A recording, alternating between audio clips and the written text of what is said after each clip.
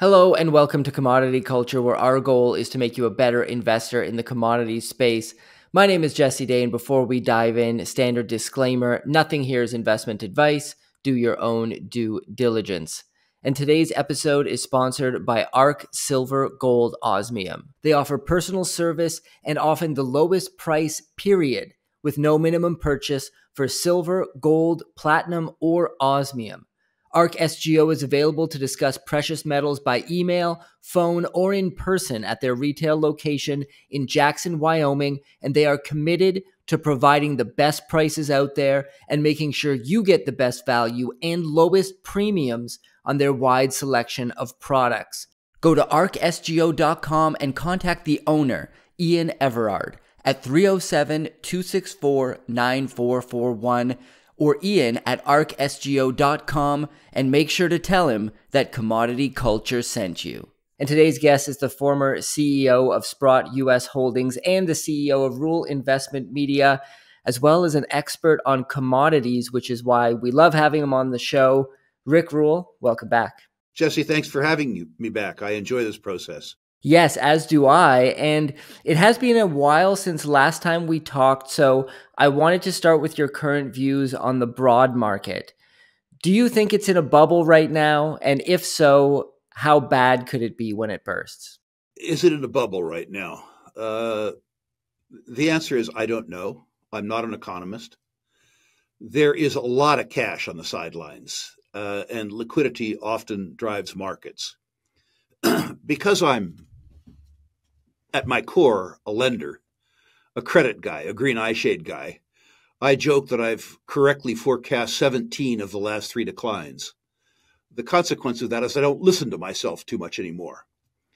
I have also learned on the other side, Jesse, that if you buy the market, uh, buy a sector, you go broke because it's too broad for you to understand. If you buy individual companies, using fundamental analysis and you buy people uh, based on their values and their work ethics, you do well. So it sounds like I'm avoiding the question, but the truth is I'm discounting my ability to answer the question. Uh, there are plenty of things about the market in the near term that scare me because I scare easily. I'm a lender. uh, I don't understand some of the valuations, even despite the growth. I am nervous about a recession. There are companies that do well in sectors that I don't understand, and I don't allow myself to do things that I don't understand. Looking at the other side of the equation, the longest unbo- uh, unbroken bull market in history is the ascent of humankind. There have been some pretty ugly punctuations, things like World War II. um, but I suspect that one must be a long term optimist while maintaining enough concern and enough cash, frankly, that you can weather periodic events, um, which is what I try to do. Well, that leads to a follow up, which is, you know, over the past decade plus, the mantra for retail investors has often been to just dollar cost average into an index fund into an S&P 500 fund maybe diversify with some bond exposure and kind of set it and forget it. This is the random walk down wall street theory where fundamental analysis doesn't really work and nor, nor does technical analysis. So just invest in the market sit back and forget it. Now i've spoken to several guests on this show people like grant williams who have said that the paradox has kind of changed now. It's it's no longer a market environment where you can just passively sit back and invest in an index fund. Would you agree with that? Do you think the market environment has fundamentally changed? I think if you have a 20-year horizon, you can do it. I think if you have a 5-year horizon, it's very difficult. When I look at the S&P 500, what it really is is an S&P 10 the, the concentration in the S&P 500 is so geared to world dominating technology companies and my own lack of knowledge uh, around their technology pipeline is so profound that I don't have the courage personally to buy the S&P 500. In 1982, uh, recognizing my own shortcomings uh, as a general market securities analyst, what I decided to do was make most of my general market securities portfolio consist of one stock, Berkshire Hathaway. The idea that I or many other people that I knew could uh, outthink Warren Buffett was very low. And the fact that Warren Buffett was able to structure Berkshire Hathaway as an insurance company rather than as a closed end fund, which meant that he could deduct uh, anticipated policy loss expenses against current income, meant that I had the best stock picker in the world and I paid an effective tax rate of 11%. Uh, that type of analysis is very different than got a hunch, bet a bunch but it worked for me. uh, there are years when the broad market did better than I did, but it did it with extraordinary risk. And I've decided that you can take away part of my upside if you take away most of my downside, which is why I did Berkshire Hathaway and why I don't do the S&P 500. Uh, the S&P 500 as a bet on the ascent of humankind isn't a bad bet but it's a bet where I don't think that the information is disseminated well enough, which is to say, there's a whole bunch of people out there who know more about Microsoft and Apple and Amazon than I do, and I don't want to compete against them. That makes a lot of sense. I, I wanted to get your take on both the US and global economy as well. When you look at them today, what are the main points of concern for you? And what, if anything, makes you optimistic? We hear a lot of doom and gloom these days. So I'm wondering if there's anything you see out there that has you positive. Let's talk, start with the optimism first.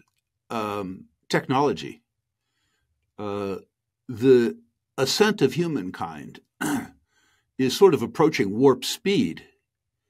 The ability, as an example, and I'm not going to give you all the arm waving stuff about AI, but the idea that with the increase of computer power, that you can analyze really vast amounts of data and look for coincident anomalies means that securities analysts like me, who used to have to, to spend 56, 50 or 60 hours uh, a quarter doing very broad stock, stock screens themselves, can now go to Bloomberg, and Bloomberg will scan the whole universe of publicly quoted markets worldwide and give me the screen in 90 seconds. Bloomberg, for $2,000 a month, saves me 20 hours a month, which is astonishing. And the ascent of humankind is really being fueled by technology. And the benefits of this advance in technology are cumulative and compounding. Uh, for all the faults I find in American culture, as an example, it's still a place where uh, a, a, group of youngsters can take over a garage in Sunnyvale, California, and out pops Google or out pops Apple. the second thing that makes me bullish is advances at the bottom of the pyramid we have done a wonderful job in the last 40 years of moving a billion and a half people out of dire poverty to the point where they're just poor. Does more need to be done? Absolutely. But what we've done is spectacular. Uh, and I think that we will eliminate dire poverty within 20 years. this isn't just good from a philosophical perspective. It's good because the inclusion of a billion people into the marketplace makes everyone who cares to become richer richer uh, and also exposes us to the talents of a billion people that otherwise wouldn't have the opportunity to contribute.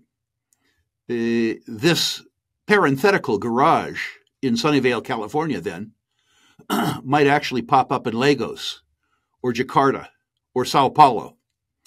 Uh, thinking about the young people that I mentor through Students for Liberty, now 160,000 of them worldwide, if you visit with these young people, it's very difficult to be a pessimist. Uh, the third thing is simply that there's so much liquidity. Um, now, let's look at the downsides. Uh, liquidity is different than solvency. Uh, on a global basis, our societies as collectives owe too much. And the real test will be will our individual genius and tenacity overcome our collective stupidity?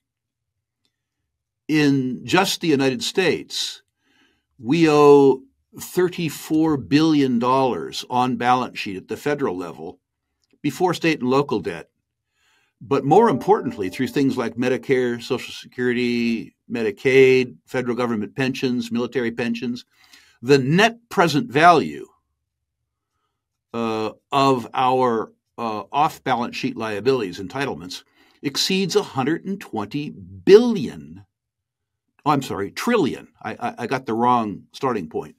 Trillion dollars. So, collectively in the United States, before individual, corporate, state, and local debt, we owe $150 trillion. And we're trying to service this with a budget that's in deficit $2 trillion a year. That's ugly math. And uh, our faith in government, our faith in collective coercion, is increasing rather than decreasing. Uh, that bothers me a lot. Well, let's get into the commodities portion of the conversation. And I'd like to start with gold hitting and sustaining all time highs, as you've pointed out in nominal US dollar terms last time we spoke. Very important distinction. Um, what do you think has led us here? Is this the result of record levels of central bank buying? Are more investors looking for a safe haven in the face of ever increasing government debt? a combination of all all these things or or something else entirely? Give us your take here. I think the increase has to do with three things. Uh, first of all, a bounce back uh, in market share. The market share of precious metals and precious metals related assets in the U.S. market is below one half of 1%, down from a four decade mean of 2%. So part of this is a reversion to mean. But U.S. consumers, by and large, U.S. investors aren't buying gold. Uh, the outflow of gold from the ETFs tells me that gold doesn't have a place in the public imagination in the West. Uh, I've learned by grading 80,000 portfolios over six years from around the world that the gold constituency is a traditional constituency. When I talk to investors, which I do, in India, Pakistan, Indonesia, Brazil, China, uh, even young investors, and particularly female investors, there's a very strong interest in gold. But the increase in gold price really hasn't come from that. It's come from central banks and governments objecting to the weaponization of the US dollar and understanding, too, that pay, being paid a 4% interest rate in a currency where the true purchasing power of the currency is declining by 7% that understand the bad arithmetic around U.S. Treasury securities, while similarly, uh, similarly understanding that the U.S., for all its faults, is, to quote Doug Casey, the prettiest mare at the slaughterhouse.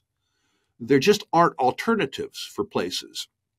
Well, the Indians don't trust us, and the Saudis don't trust us, and the Russians don't trust us, and the Indians don't trust us, and the Persians don't trust us. They still trust us more than they trust each other. And given the fact that we have idiotically weaponized the US dollar, made it less competitive as a medium of exchange, by the way, uh, the ultimate form of stupidity. Uh, what we've done, given the fact that these people mouth appreciation for each other but can't stand each other, is we've forced them to begin to stockpile gold to utilize as a medium of exchange, one, one that can't be weaponized. And I would suggest to you that the whole ascent of precious metals has to do currently with the weaponization of the US dollar. The fact that the appreciation in gold has occurred at a point in time when the nominal interest rate has doubled is extraordinary. And it's testimony to the stupidity of the US executive and the US Congress. You've pointed out recently that silver is very hated right now, and you love that. Um, with gold's recent performance, silver remains far below nominal all time highs. Central banks don't seem to be buying it, and your average retail investor could care less, at least in the West. Um, I wonder what is, is it now the time to load the boat on silver? And also going back to what you said in in the last comment about gold, do people outside of the West, those same investors you speak to, also have more of an affinity for silver than those investors in the West? No. In answer to the, the former question. And that's consistent with prior precious metals bull markets. Uh, a precious metals bull market has been, in my experience, always kicked off by fear. The silver buyer is a greed buyer, the gold buyer is a fear buyer. And the precious metals narrative uh, always starts with fear. Now, my belief is, and I think we've had this discussion before, but I'll try to repeat it briefly. Uh, my belief is that the hallmark of a retail precious metals bull market is a lack of faith in the maintenance of purchasing power eh, in fiat currency denominated issues. I believe, too, that investor perceptions are set by their experience in the immediate past rather than by history. And we've been through a period, 1982 to 2022, that was very benign. Lower interest rates, relatively strong US dollar, good performance in the US bond market, uh, good performance in the equities markets, punctuated by some severe but brief downturns. The consequence of that is that despite the fact that the hallmarks of the deterioration of the purchasing power of the US dollar abound, people aren't afraid of them yet, just like they weren't afraid in the period 1967 to 1982. Uh, it's eerie how similar that is. Uh, you might not have been around, and much of your audience might not have been around, but I was coming of age then. We fought the war in Vietnam and lost. We fought the war on poverty and we lost. We tried to fight guns and butter simultaneously, and all we did was ruin our own balance sheet. It took 10 years of depreciating the purchasing power of the US dollar over the decade of the 70s when we lowered the nominal purchasing power of the dollar by 75% before we were able to afford our debts. And, and that process called gold, caused gold to go from a price controlled $35 an ounce to $850 an ounce. The fear that fear is the wrong phrase, the concern, the affinity for arithmetic that investors need to exhibit uh, around US dollar denominated debt instruments hasn't matured. The same way that it hadn't matured in the 1967 to 1982 hiatus. Uh, if it does, and I suspect it will, uh, you won't think much about a nominal move in the gold price from 2000 to 2200. You will be looking at a much larger move. Will it occur? I don't know. But I certainly think it's a contingency worth insuring against at its worst, uh, and a probability we're speculating in at its best. And if you see the type of move in gold that I think is warranted, uh, because of the deterioration of the purchasing power in the US dollar, particularly relative to the interest rates that are paid now, uh, I think that the move in gold will surprise you uh, in terms of its quantum. And I think if, if that if that momentum is established by gold, uh, what you'll see is that partway through that bull market, where the narrative becomes broadly established, that silver will come ultimately to outperform gold. Well, let's shift to fossil fuels, hydrocarbons, whatever you want to call them, but uh, a startling development, nothing not a big surprise in a place like Canada at this point in time, but a member of the new Democratic Party there, Charlie Angus, he recently proposed to Parliament a bill known as the Fossil Fuels Advertising Act. During presenting this bill, he noticed that the oil and gas sector is killing people and so we need to ban positive speech on the industry. And I quote, it is prohibited for a person to promote a fossil fuel, a fossil fuel related brand element, or the production of a fossil fuel. Violate this as a regular citizen, and the act prescribes summary conviction and a fine of up to $500,000. It's just absurd. Violate it as an oil company, and the punishment could be as strict as two years in jail or a fine of $1 million.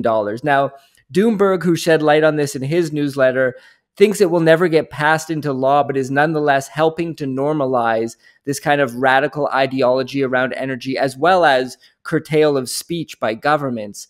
Um, I'm wondering what your take on this proposed bill is. And do you think this makes Canada more of a dangerous jurisdiction to invest in as an oil and gas investor? Does this mean it's very important to be diversified outside of that country with your investments? Three responses. The first is if the gentleman is concerned about the fact that oil companies are killing people, he needs to think about war. Oil companies don't start war, governments do. And I would propose to him that if he was interested in a narrative that promoted life, that he should say that any mention of government, which starts war, or any mention of tax, which funds war, should be a felony or an indictable offense. And anybody who speaks positively about government should be subjected to two years imprisonment uh, or a fine of $250,000 or both. If he's concerned about life, he should be about concerned about war. And if he's concerned about war, he should be concerned about government. And his policy of prosecution and persecution should go to the cause of his concern. The big thinkers uh, in Canada and the United States and in the West, that special brand of moron, the Trudeau, the Biden, the Merkel, uh, they're the ideological successors to the Club of Rome, who were proven so spectacularly wrong in the decade of the 70s, knowing that they can't convince their constituencies that it's okay for them to fly 1,200 private planes to Davos to tell you and I to drive less. They've decided that since we won't act in our own interest as they see it, they have to force us to do it. If they can't convince, they have to compel.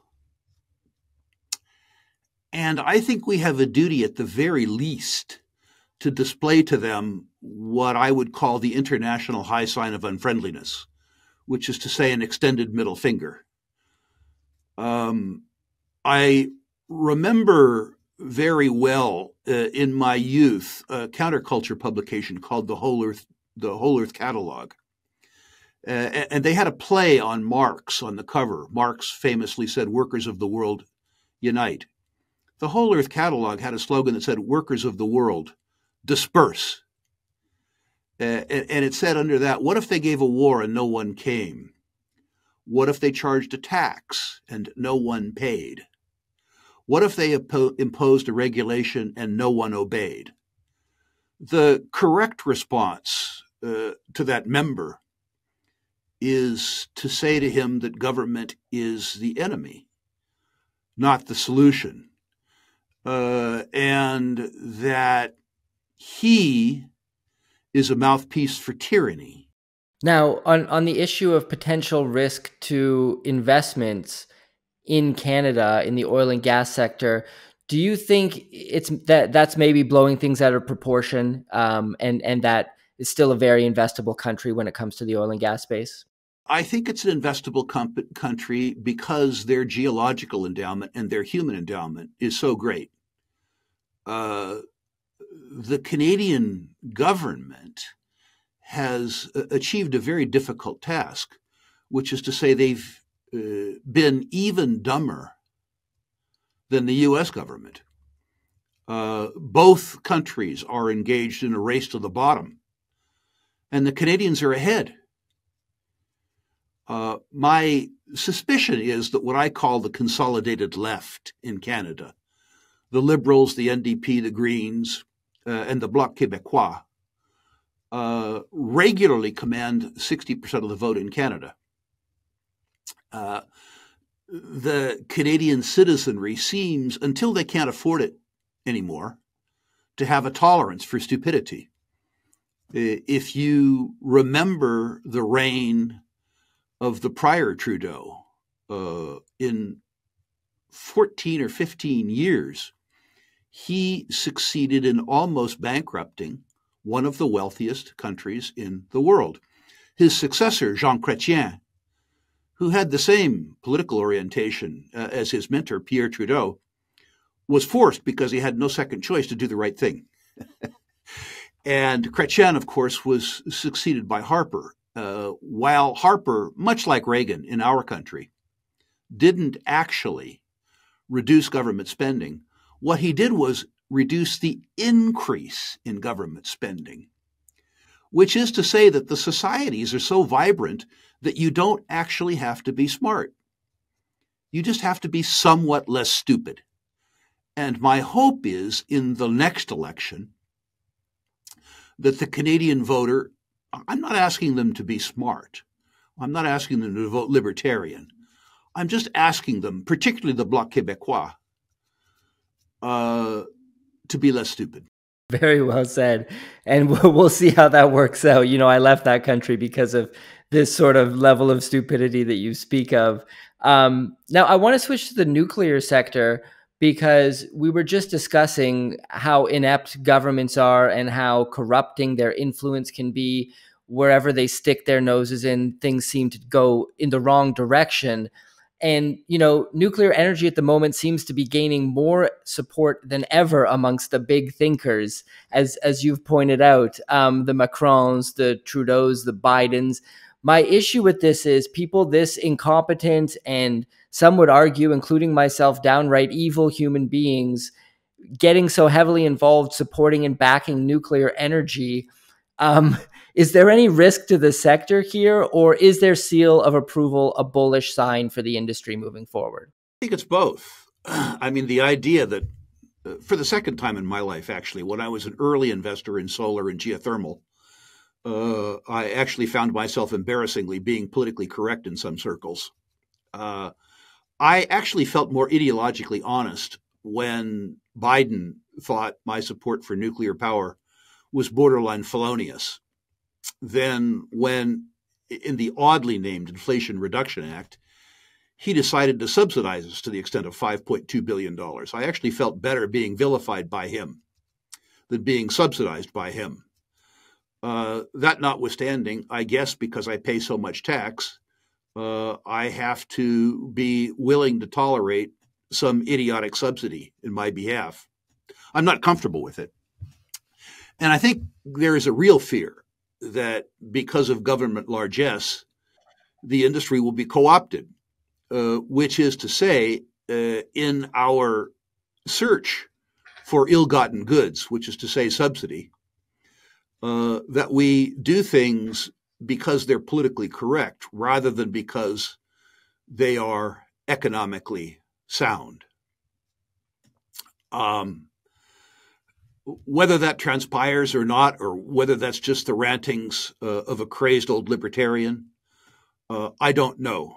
Uh, but I am concerned about the fact that their subsidy uh, may co opt us and cause us to do things that aren't in the best interest of our customers uh, or our uh, investors. So let's touch on uranium supply demand fundamentals here. Things are getting more interesting. We've got Kazatomprom, Cameco, and Orano all expressing an inability to hit desired production targets in one form or another. Kazatomprom, the world's largest producer by far, may actually have to buy on the spot market to fulfill contracts.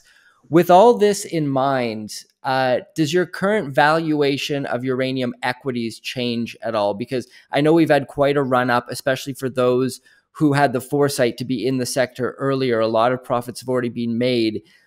Do the valuations change in your mind given this um, curtail on potential future production from these big players? If you use the phrase valuations, the answer is yes. If you use the phrase capitalizations, maybe not. Uh, I, I want to draw the distinction between the short term price that you see in the market and the long term valuations in the companies. The cure for high prices is always, Jesse, high prices. Uh, and whether it takes a couple years, two or three years to balance that out is a very different question. It takes a long time to impact supply, as Kazatomprom is finding out. Uh, and I'm, I'm going to come back to that in a moment. No, I'm not. I'm going to pursue it. Then I'll go to what I was going to talk about. Um, we need to remember that uh, a near term in, in, in, increase in price uh, doesn't increase supply because it takes a long time to permit, finance, and build new capacity. Uh, and each of Cameco and Kazatomprom, not so far Orano, has said that they won't restart the hot stopped uh, care and maintenance production until they have enough term contracts to ensure their shareholders a reasonable return on capital employed. What that means is that the spot market, while it drives investor perception, is less important in company valuations than the term market. And the term market is very opaque. People rely on the spot market because they don't have to do any work. They just look and feel. Understanding the term market requires you to work and think. So while the term market is all about where real valuation is created, market capitalization is created in the in the spot market. Now, what I hope your listeners will think through is the fact that the structure of the uranium market is changing right in front of our eyes. The spot market is becoming less important in commodity transactions, in some measure because my former employer reduced the float by 50 million pounds, and the spot market is no longer a reliable source of material uh, for the reactor community. Uh, two, uh, financing reactors has changed. We're building dozens of them, and there's over a hundred in the planning stages. This is a capital intensive business between five and ten billion dollars a crack. And the lenders increasingly are requiring the utilities who build these plants to lock in in the term market sufficient supply that they can amortize the debt. what this means is that the term market is, become, is going to become more important, not less important. And the implications of that are really profound. What it means is that uranium will be the only mineral commodity that I know of where investors uh, and companies will be able, with some certainty, to understand the selling price of the commodity and hence to some degree, the margins, the operating margins that they're going to enjoy. The gold trade, that which hasn't been streamed, uh, takes place in the spot market. So there's no price certainty. The same with oil, the same with iron, the same with coal. Uh, the longest reference that you have in the iron business is a year. With uranium, you're going to start having references with minimum selling points and stipulated selling bands, contractually agreed, uh, for as much as 15 years. And if the counterparty to that term contract is an investment grade credit, Ontario Power, Tokyo Electric Power, China General Nuclear, Duke Power, Southern companies, uh, the companies will be able to use those contracts to lower their cost of capital at the bank to build the projects. And lazy security analysts like myself uh, will be able to look at the stipulated prices going out 10 years and 15 years and do a much better job of forecasting revenues, margins, and free cash flow, which should lower the cost uh, of capital to the uranium business for a very long time. What I like to tell speculators is the easy money has been made. The increase in the uranium price from 20 bucks to 100 bucks took care of that. And the prices of a basket of decent uranium juniors is uniformly up 300% moving from out of favor to in favor. But the sure money is ahead of us.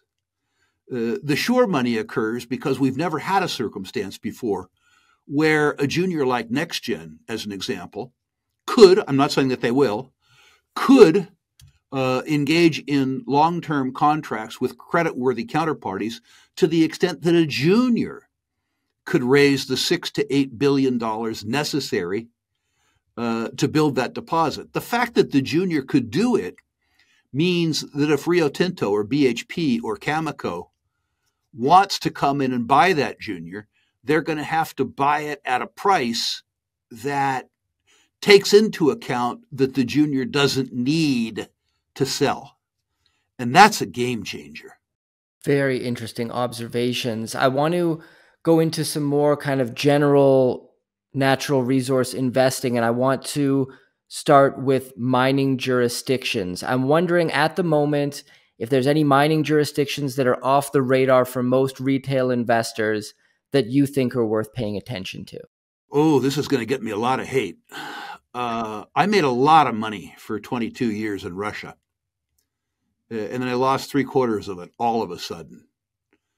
Uh, investors who have the courage, not American investors, because they're prohibited by law, I think, from doing it, investors that have the courage uh, uh and the intelligence to set up uh, accounts uh, with Sberbank or somebody so that they could speculate in the lowest cost, most efficient producers in the world, which are uniformly Russian, might want to do that. I can understand people who wouldn't do it for moral reasons. Uh, I can understand people who also don't want to risk losing all of the money that they have involved in Russia if that society continues to deteriorate. When I look at uh, every regime in the world, uh, and I look at the jurisdiction that has the best human resources and the best natural resources relative to enterprise value, the answer comes back Russia, Russia, and Russia. Uh, that's a step too far for most people. I would do it, frankly, except for that I have a banking organization in front of the FDIC. Uh, and getting into a bun fight with the U.S. government is not something I'm particularly interested in doing. Um, the penalty for failure is much too high and much too public. Um, I think that speculators now need to look at the potential of Argentina. Uh, I think the political reality is that the Argentine constituency won't have the patience to do the right thing. But I didn't think that they, I didn't think that they would elect this guy to begin with. Uh, if this guy can hold on for two years, uh, I remember the impact that right thinking can have on an economy. I remember uh, what happened in China when Deng Xiaoping said, to be rich is glorious. Uh, I remember what happened in Canada when Harper, although he didn't slow the growth of government, slowed the rate of increase. I remember what happened in the United States in 1980 when Ronald Reagan did the same thing. Uh, he did a lot of wrong things, increasing the debt, but at least he slowed the growth of government. And I think Argentina has so much low hanging fruit that if they can suffer two or three years of pain, particularly if uh, decides, as an example, to facilitate the development of the Vaca Muerta shale package in the Neuquén Basin, if he decides to uh, permit things like the massive uh, silver reserves uh, in southern Argentina that have been halted by politics, that that's a constituency uh, that one needs to look at. I'm very attracted by what both Namibia and Botswana are doing uh, in terms of normalizing their mineral code, enforcing the rule of law, uh, streamlining the participation of foreign investors, and allowing foreign investors to uh, return reasonable amounts of capital employed on successful efforts. There are jurisdictions, too, sub-jurisdictions in constituencies that people look at with more favor. Uh, as an example, the United States, Texas, Wyoming, Alaska. the list is skinny. That's the whole list. Uh, that are attractive. Uh, and there are constituents, constituencies in Canada I would see particularly Saskatchewan, but also perhaps Alberta, that are attractive. Uh, and then there are uh, much smaller constituencies, uh, tribal constituencies in North America. The Tahltan constituency, the Lakota constituency in the United States, that I think are coming to the realization that they need to attract investors um, I think if Lula uh, doesn't succeed in destroying Brazil, that there's a strong undercurrent of social and political uh, acceptance of mining uh, and extractives in that country. And I'm not completely agnostic about the possibility that uh, there would be a political swing in the United States and Canada. I'm nervous about the direction that that political swing might take. I don't see Trump as an example as any friend of freedom or anybody who would reduce the size of government. Uh, I see him as a transactional politician who would continue to steal just on behalf of a different constituency. Um, my hope is that a, when a return to mean, if it occurs uh, in the United States and Canada, that that return to the mean isn't a swing to the right, but rather a swing to freedom. That might be too much to ask for.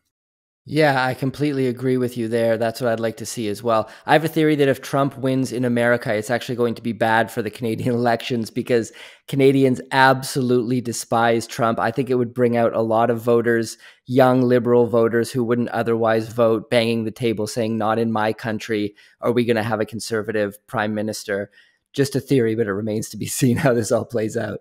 Certainly, uh, Trudeau has learned that he can't run. Uh, against the opposition. Uh, he has to run against Trump. Uh, Trump is a gift God, from God for Trudeau. And I think the conservatives uh, need to make this much less about Trudeau personally and much more about Trudeau's policies so that he doesn't have the ability to match his personality with Trump's personality.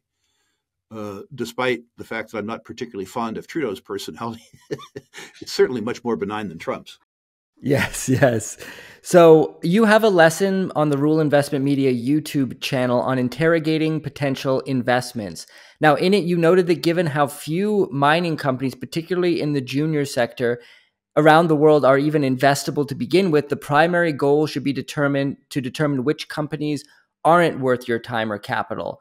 So, how do you go about doing that in terms of interrogating company CEOs or management? What are the questions to ask to kind of realize to clear it as okay this isn't a, an investable company? Even before you ask the question uh, you need to vet the person that you're questioning.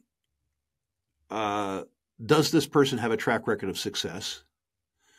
And is this track record of success applicable to the task at hand? If their track record of success hasn't so much been discovering mines but rather moving stock if you're a stock trader and you understand something about the greater fool theory, in other words, you're willing to do something dumb because you believe that this people will attract a whole constituency of people who is even dumber than you, then you don't have to go to the real classroom. Uh, all it's about is does the person have a PhD in hoodwinking? Uh, I haven't been good at that. Uh, so that isn't something that I do. The expertise I'm looking for is prior success at discovery or development or production or whatever the task at hand is. And when I say the task at hand, it's important to understand that. If someone comes to me and says, Rick, I've been a success in gold, in gold mining, and I say, How so? The person responds, uh, I successfully uh, turned around and operated a, a gold mine in Archean terrain in French speaking Quebec.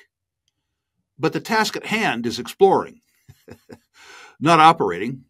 Uh, a copper gold porphyry in 15 million year old accreted terrain in Spanish speaking Peru, while the success is laudable, it isn't probably appropriate to the task at hand. And that same uh, matching of curriculum vitae to tasks needs to extend below the CEO. Uh, it needs to extend to the chairman. Uh, what's the chairman's role? Is the chairman there to protect the CEO? Or does the chairman have some specific expertise which will aid the task at hand. If the company needs to raise money, has the CFO raised money before? If the company is building a mine, has the CFO presided over the financing uh, of uh, a construction operation before? What were the directors chosen for? Do they have specific expertise in constituency building? If the company is operating in a Spanish speaking company, does the CEO or any of the directors speak Spanish? So before you even bother questioning a company, find out whether the people involved are worth questioning. Do you care what answers they give you? Do you have enough faith in their ability to answer the question that you care what they have to say? If the answer to that is yes, then proceed. Uh, it's important, as I say in the interrogation, to let them do their 15 minute spiel. Let them give you their presentation because they can't help it. They're programmed to do it. So push the button and let them go. Uh, and then after that, try to phrase your question in the context of the spiel. Say, uh, I really appreciate that overview of the company. Uh, you know, while you live it, I'm foreign to it, and it really helped this introduction. So thank you for that. Uh, what I'm still at a loss for is uh, the principal unanswered question that you're trying to answer right now. In exploration, as an example, it's really a technology based business, not an asset based business.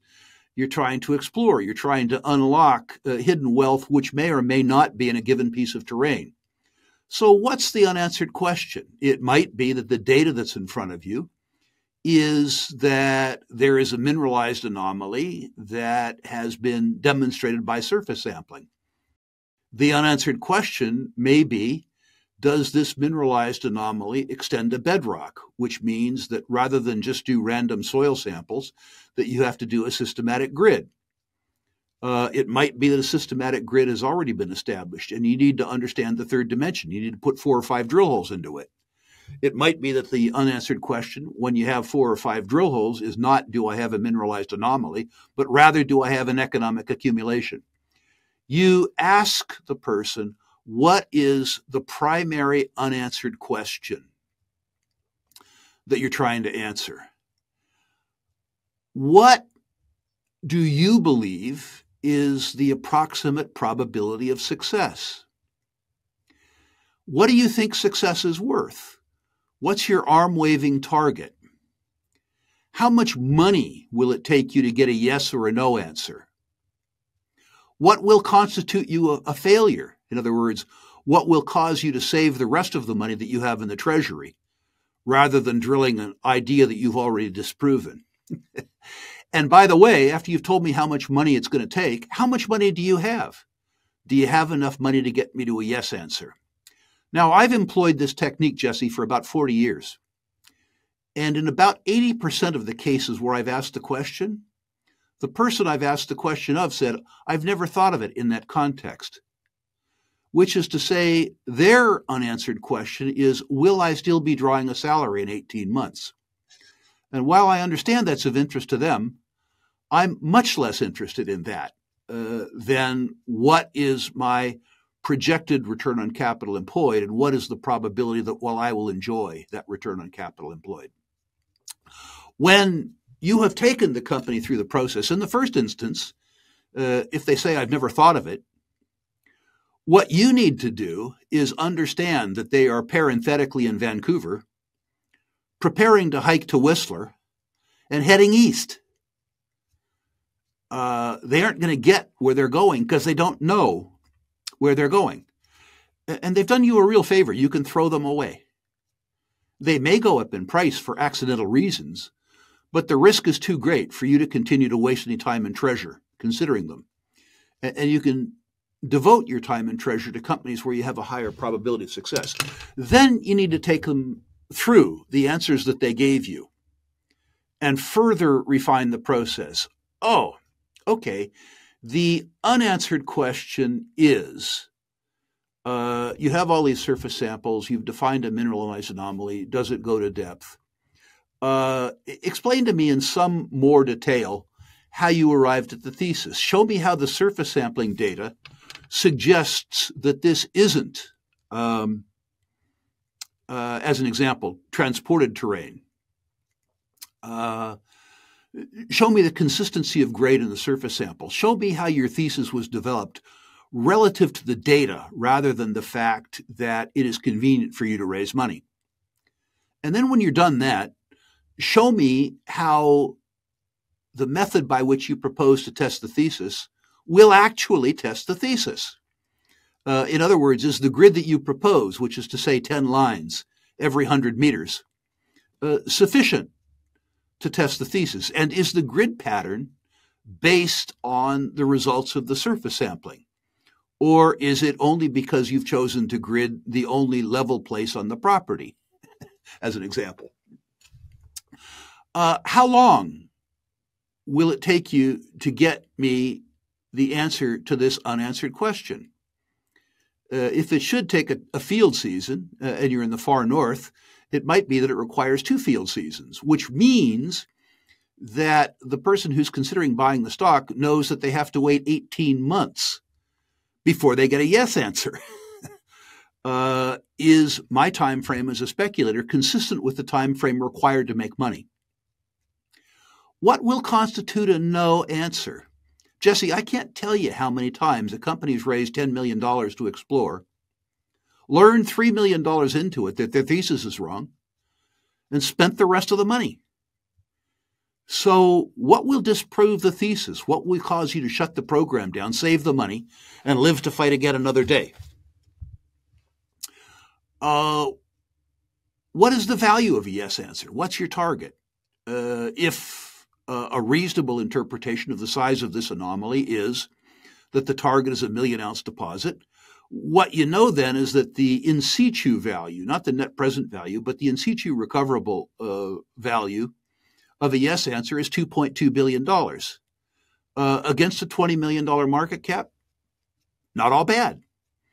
But if the target is undefined or the target is small, uh, it might be that a yes answer given the probability of obtaining a yes answer, isn't worth you speculating on.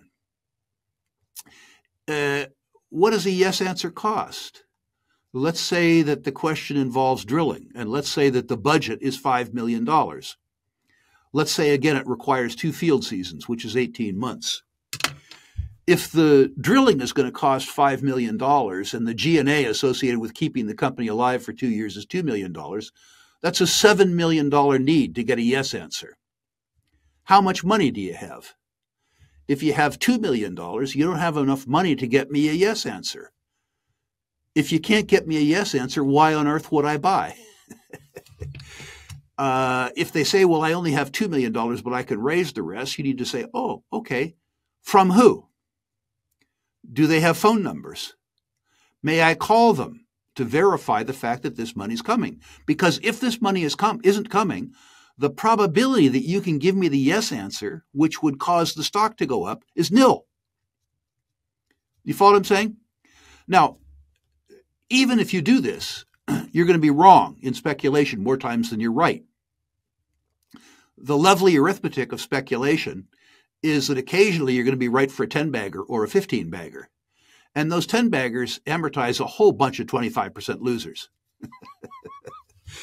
um, mercifully, if you do this, you are competing against a whole class of speculators whose basic premise is got a hunch, bet a bunch. And those same people are basically anti-contrarian, which is to say they don't want to buy uranium at 20 bucks, they want to buy it at 100 bucks. Because the increase in price has validated the thesis that they were afraid to invest in when the thesis had value. So this isn't to guarantee that on any individual uh, decision that you're going to make the right decision. But if you employ the technique over a decade, uh, you will outcompete your competitors by a standard deviation. That is a fantastic breakdown. I feel like you've brought the rule classroom here on commodity culture. This whole conversation has been excellent. So, really appreciate you joining us today. Now, I know you've got a couple of events coming up. Um, again, more knowledge from yourself and some great guests. You've got a virtual boot camp on prospect generators coming up on April 20th. And of course, the big one, the 2024 Rules Symposium on Natural Resource Investing. That's running from July 7th to 11th. Could you talk about those two events and what people can expect from them? Yeah, really four things I want to talk about. If you like what I have to say about natural resources and you want to personalize it, go to ruleinvestmentmedia.com, list your natural resource stocks, and I personally, no obligation, will rank them 1 to 10, 1 being best, 10 being worst. If you want to become a better investor yourself, go to the Rule Classroom. There's 200 hours of instructional programming there, and it's free. go there, employ the lessons. When you're ready to employ them, once every three months, I do a boot camp around a, a, a deep dive, an eight hour long dive on a specific topic. We did uranium, by the way, two and a half years ago when it was cheap. We did silver. We've done royalty and streaming. Because exploration's so hated, we're doing an exploration boot camp specifically around prospect generation. These boot camps are $99. We have eight hours of programming, eight and a half hours of programming in your own home, but you have access to the recordings for a year. And by the way, you're going to need that access because you can't absorb the information in eight hours that I'm going to give you in eight hours. I'm so confident in this product that it comes with a gold plated money guarantee, money back guarantee. If you've taken the course uh, and you don't think that you got your money's worth, email me. I'll give it back. Our granddaddy product, if you will, is the Natural Resources Investment Symposium. Uh, I believe we've been doing it for almost 30 years. Uh, this year's takes place in Boca Raton, Florida. Great big picture thinkers with the paradigm that you won't get on CBC or CNBC. Uh, the Jim Rickards, the Danielle DiMartino Booths, the Nomi Prinses, the Grant Williams of the world. People who explain the world the way it is, not the way Trudeau and Biden wish it were. If you come to subscribe to that worldview, we have fantastic uh, analysts and portfolio managers, people who've been making money in natural resource markets for 30 years. More importantly than that, we have the living legends, gentlemen and ladies who have built multi billion dollar mining and oil and gas companies from scratch, telling you how they did it and how the lessons they learned can make you a better investor.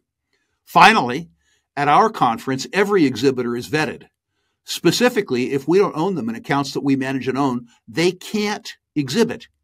It doesn't mean, sadly, Jesse, that every stock I buy goes up. What it does mean is that I know the company well enough that I've invested my own time and treasure in them. And once again, uh, you can attend this conference live, which I would prefer, or you can attend the live stream uh, in your own home. And once again, you will have access to the recordings for a year after the event. And you will need to review the tapes again and again and again. Once again, a gold plated money back guarantee. Whether you attend live or you attend in live stream, if you don't believe that the curriculum was worth the tuition, I will refund the tuition. I'm delighted to say, in 30 years of offering for pay investor educational products, I've had to return about one tenth of 1% of the tuitions that I've charged.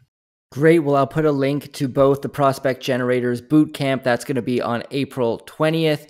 And of course, the 2024 Rule Symposium on Natural Resource Investing, July 7th to 11th. As you mentioned, both live in Boca Raton, Florida, as well as available online. Those links will be in the description below for those who are interested. Thank you once again, Rick, for coming on and sharing all your knowledge with the audience.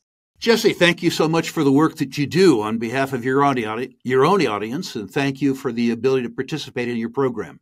Thank you for joining us today. As a reminder, this episode is sponsored by ARK Silver Gold Osmium.